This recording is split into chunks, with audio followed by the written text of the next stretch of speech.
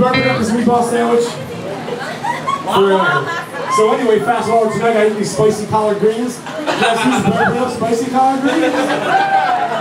Yeah, uh, Steve, can I get more of his banter in my monitor, please? Uh, I'm not enjoying it enough. Today, I have a lot of, all my socks have holes in them.